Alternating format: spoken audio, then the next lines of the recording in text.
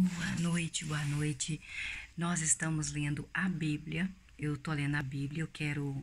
A minha intenção é ler a Bíblia toda, mas talvez não dê tempo de vida para isso. Porque vocês sabem que, como eu sempre digo nos meus canais, eu tenho dois canais, é, todos dois têm o mesmo nome, Luciana Figueiredo. É, eu acredito muito que a vida Cada segundo é um segundo diferente e é um mistério e que nós não sabemos o que há de acontecer. Então, nesse vídeo anterior, anterior eu li para vocês Gênesis 10. Ó, a Bíblia está aqui. Nós estamos no livro de Gênesis, não, dá, tem foco. Gênesis 10. Nós lemos os Gênesis 10 essa é a história dos filhos de Noé, que se chamavam Sem, Cã e Jafé. Eles tiveram filhos depois do dilúvio. Os filhos de Jafé foram Gomer, Magog, Magog Madal, Javã, Tubal, Meseque e Tiras.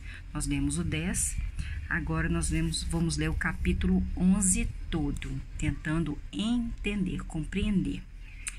Então, nós lemos aí o capítulo 10 anteriormente, do versículo 1 ao versículo 32. O último versículo foi: Essas foram as famílias dos filhos de Noé, segundo suas linhagens e conforme suas nações. A partir delas, nações se espalharam pela terra depois do dilúvio, né?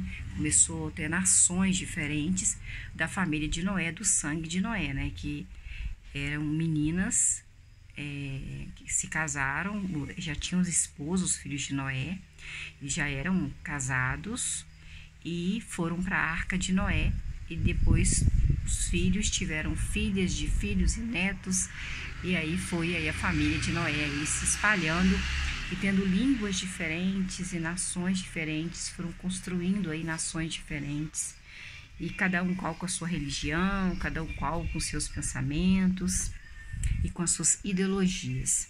Vamos ler aqui Gênesis 11. Toda a terra continuava a ter um só idioma e um só conjunto de palavras. Ao migrarem para o leste, os homens descobriram uma planície na terra de Sinear e passaram a morar ali, na terra de Sinear. Então disseram uns aos outros os homens: Venham, vamos fazer tijolos, vamos cozer os tijolos no fogo. Assim, eles usavam tijolos em vez de pedra e betume, que era o asfalto, como argamassa.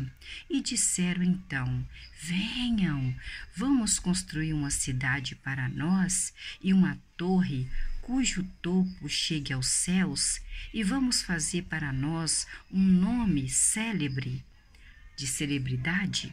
Assim não seremos espalhados por toda a face da terra. Jeová desceu então para ver a cidade e para ver a torre que os filhos dos homens tinham construído.